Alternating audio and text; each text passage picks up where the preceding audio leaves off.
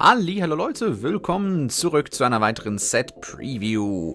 Wir werfen heute den ersten Blick auf neue Karten aus Savage Strike. Wir haben ja bereits die TG-Karten angeschaut, haben uns die Freak-Cards aus diesem Set angesehen. Wir kriegen aber noch ganz viel Support für andere Themen, äh, beispielsweise für Trickstar oder Solomon Great, aber eben auch für die Shiranui und die schauen wir uns heute an, denn dieses 100-Karten-Set, was wir hier vor uns haben, bietet doch einiges an Support für die guten Shiranui-Karten, die wir bereits haben und äh, ja, dürfte das ein oder andere Fun-Deck von euch gerne ein bisschen aufwerten. Im Set sind diese Karten enthalten, es sind an der Zahl 9 Stück. Die schauen wir uns heute alle einzeln zusammen an. Ich hoffe, ihr freut euch drauf. Ich freue mich schon sehr drauf. Es gibt einige interessante Karten hier drin und ähm, ich würde sagen, wir quatschen gar nicht lange drum rum. Wir legen gleich mal los. Wir haben als erstes Shiranui Spectral Sword of Sunset. Du kannst diese Karte als Tribut anbieten. Dann wähle zwei deiner verbannten Zombie-Monster, darunter ein Shiranui-Monster außer Shiranui Spectral Sword of Sunset. Beschwöre sie als Spezialbeschwörung in Verteidigungsposition, aber ihre Effekte werden annulliert. Zusätzlich kannst du für den Rest des Spielzugs keine Monster beschwören, außer Zombie-Monster. Ein, ja, interessanter Effekt. Man kriegt damit halt dann relativ schnell seine verbannten Zombies zurück aufs Spielfeld und kann vielleicht direkt eine Synchro-Beschwörung machen.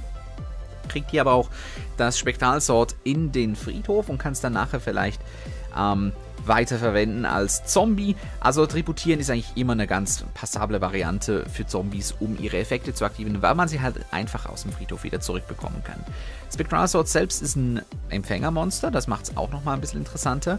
Aber für mich wirklich interessant ist dieses Opfere, dann beschwöre zwei deiner verbannten Zombie-Monster. Es muss nicht zwei Shiranui-Monster sein, es kann auch nur ein Shiranui und ein anderes Monster sein. Ihr könntet da alles Mögliche spielen. Ihr könntet beispielsweise Plague Zombie benutzen, der sich ja selbst banished, nachdem er aus dem äh, Friedhof gespecialt wurde. Und so im Prinzip den wiederverwerten. Und ich bin sicher, ihr findet noch ganz andere Eseleien, die mir äh, dieser Karte hier möglich sind. Und äh, das gefällt mir eigentlich sehr, sehr gut.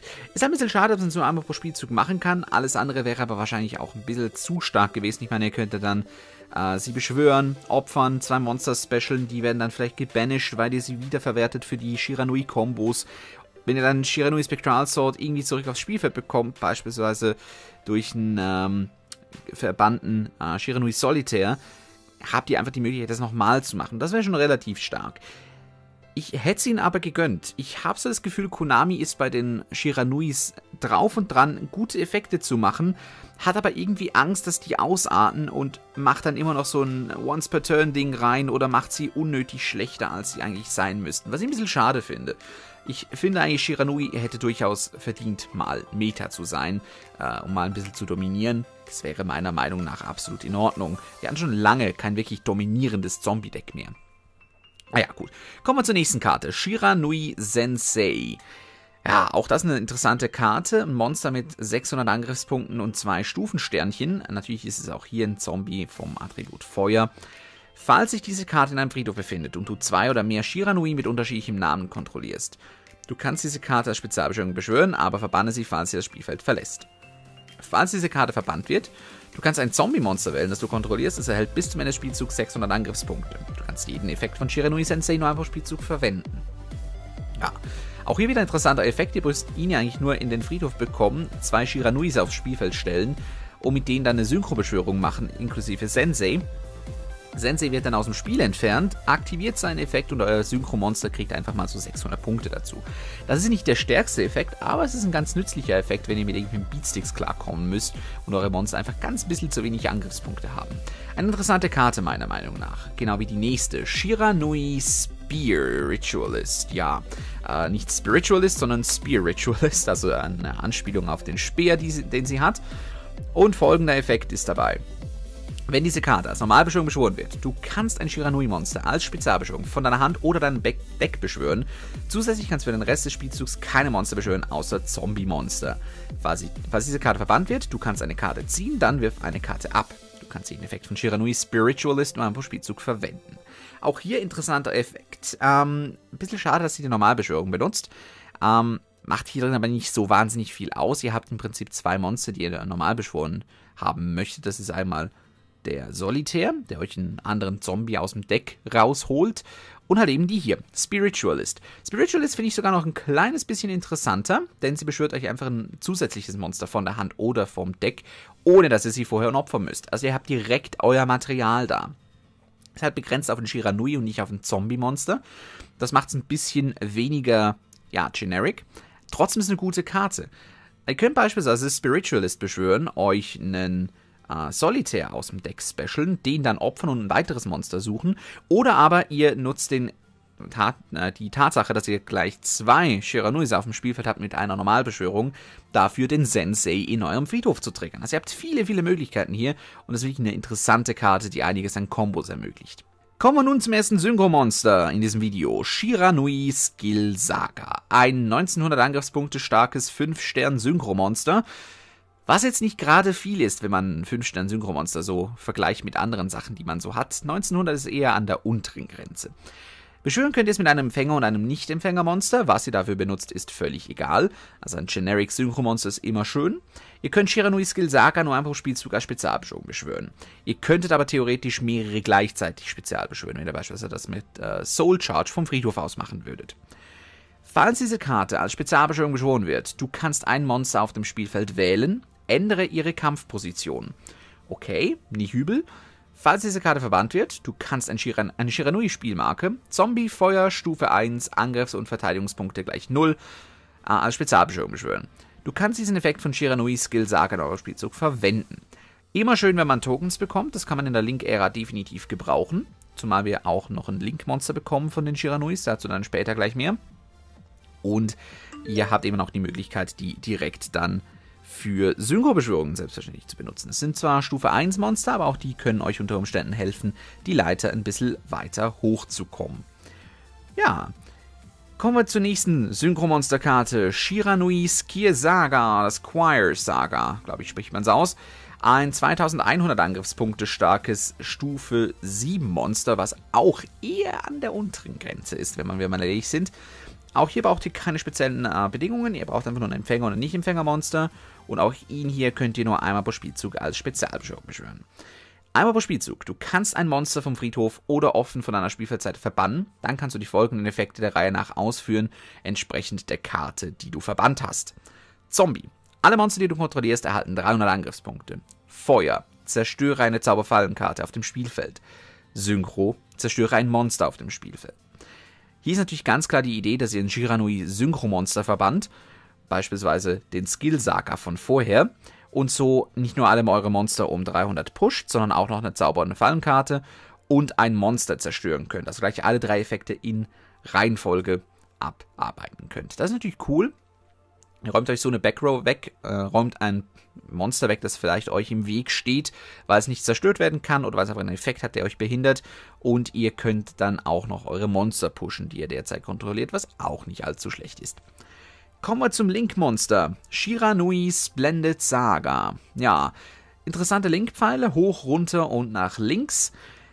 Haben wir auch nicht so häufig, aber hey, okay. Es ist ein Link 3 Monster. Mit Link 4 wäre es natürlich auch cool gewesen. Da hätten wir wahrscheinlich die Link-Pfeile in alle Richtungen gehabt. Aber hey, Link 3 ist auch völlig in Ordnung.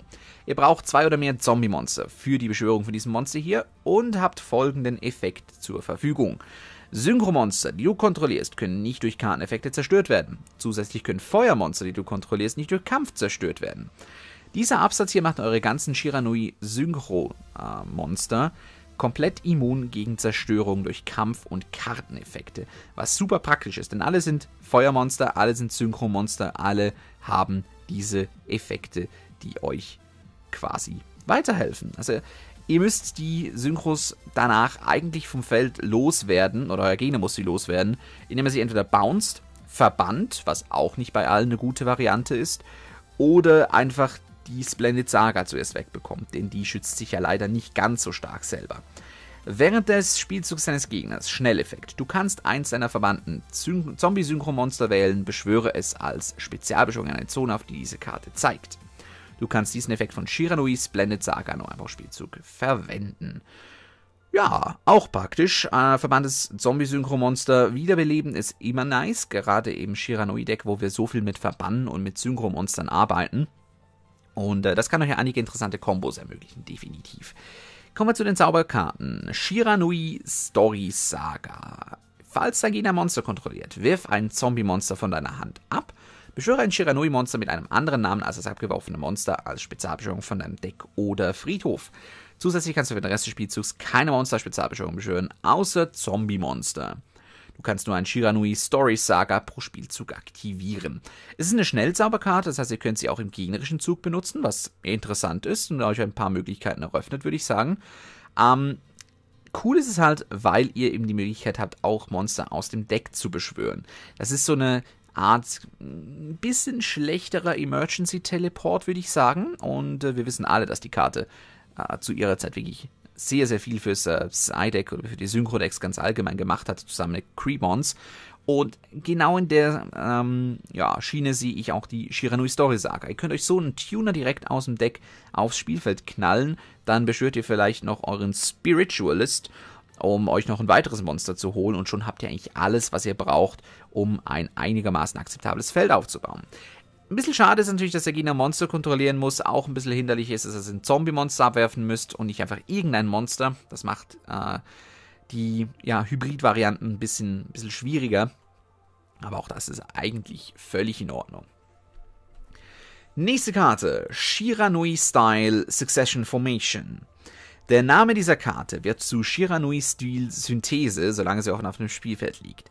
Einmal pro Spielzug, du kannst eine der folgenden Effekte aktivieren. Verbanne ein Zombie-Monster an einem Friedhof. Die normale Spezialbeschwörung deiner Zombie-Monster kann für den Rest dieses Spielzugs nicht negiert werden. Okay, kriegen also garantiert unsere ähm, Monster aufs Spielfeld, was sehr praktisch ist. Wir kriegen so Splendid Saga garantiert raus, ohne dass sie irgendwie gestrikt wird oder sonst irgendein Blödsinn damit passiert. Und wir kriegen auch die Effekte von äh, Spiritualist beispielsweise durch. Also das hier schützt eure Effekte und eure Beschwörungen sehr effektiv. Der zweite Effekt ist auch nicht übel. Wähle ein Zombie-Monster, das du kontrollierst, verbanne es, dann kannst du ein Zombie-Monster mit null Verteidigung von einem Deck auf den Friedhof legen. Also quasi eine, ja, Foolish Burial für die Shiranuis, den ihr jeden Zug wieder benutzen könnt. Auch ganz praktisch. Ich persönlich bevorzuge den ersten Effekt, wenn ihr das im ersten Zug machen könnt. Also Succession rauslegen, Effekt aktivieren und dann euren ähm, Spiritualist beschwört, kriegt ihr einfach wirklich die Möglichkeit, einfach eure Monster aufs Spielfeld zu stellen, ohne dass der Gegner da reinpfuscht. Das ist ein sehr gefährlicher Effekt, meiner Meinung nach, und eine wirklich gute Karte. Dann haben wir noch eine Fallenkarte im äh, Set, und zwar die hier. Shiranui Style Skill. Beschwöre ein Zombie-Monster, Spezialbeschwörung von deiner Hand, aber verbanne es, wenn es das Spielfeld verlässt. Du kannst diese Karte von deinem Friedhof verbannen, dann wähle ein Zombie-Monster, das du kontrollierst. Für den Rest des Spielzugs bleibst du von den Effekten anderer Karten unberührt. Du kannst nur einen Effekt von Shiranui Style Skill pro Spielzug aktivieren und nur einmal pro Spielzug. Ein interessanter Effekt, ein Monster von der Hand zu specialen, ist für eine Fallenkarte halt einfach relativ langsam, das macht es ein bisschen schade und weniger spielbar. Der Friedhofseffekt gefällt mir aber sehr, sehr gut. Ihr könnt ein Zombie-Monster wählen, das ihr kontrolliert und das einfach für den Rest des Zugs von allen Effekten schützen. Das kann sehr hilfreich sein. Das könnte so eine One-Off-Karte in einem äh, Shiranui-Deck sein, beziehungsweise vielleicht auch, könnte man sie auch zweimal spielen. Einige werden sie wahrscheinlich dreimal spielen, wenn sie denken, die äh, Beschwörung von der Hand sei gut. Ich bin der Meinung, es ist zu langsam, weil es eine Fallenkarte ist. Sie müssen Zug warten, die kann zerschossen werden. Im gegnerischen Zug wollt ihr eigentlich nicht unbedingt was von der Hand specialen.